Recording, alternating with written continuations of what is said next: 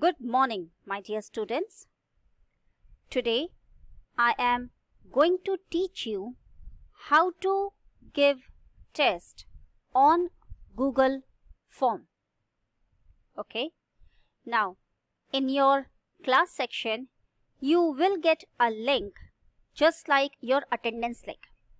The way you get your attendance link, in the same way, you will get the class test or the unit test link as well.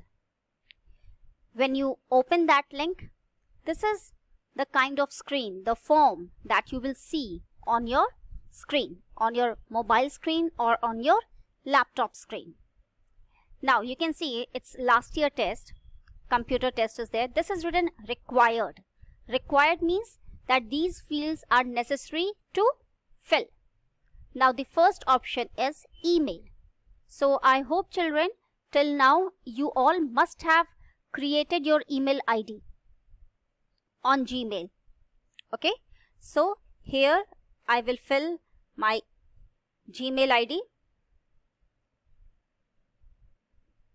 like this. Next is name. So I will fill my name. Alright. Next is admission number. You must be having your admission number. Alright. And this is written class in section that is 1C. So I will check this box 1C. Alright. Now here you can see the next button is there. So what you will do, you will click on this next button. Now this is how your question paper will look like. Okay. Choose the correct option. It, the question paper will be of MCQ only that is multiple choice question and here it is written one point. One point means the marks. Okay. That means one point means that this question carries one marks. Now here the question is a mouse has a dash that is fixed to the CPU.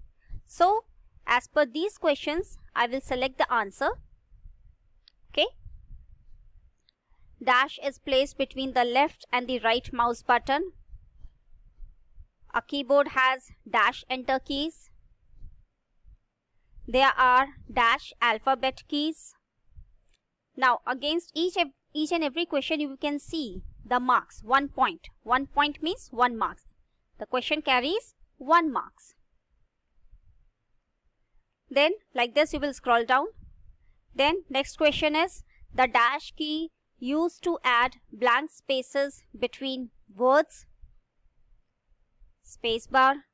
The dash key make the letters appear in capital. Caps lock. A dash is a blinking line on the monitor. That is cursor. Like this you have to fill each and you have to select the right answer for each and every question. True and false. Enter key helps you to start a new line. True. There are three arrow keys. False.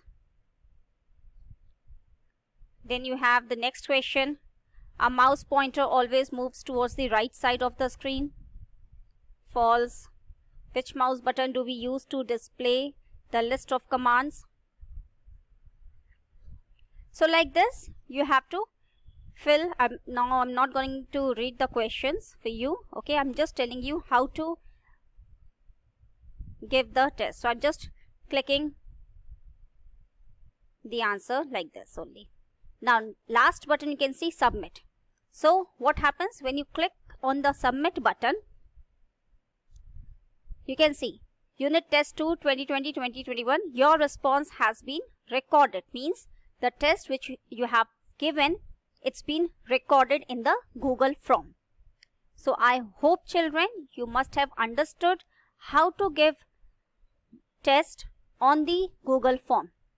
But for that you should have a Gmail ID. So I would request please parents kindly create a Gmail ID of your ward. Alright. Thank you children. Stay blessed. Stay healthy.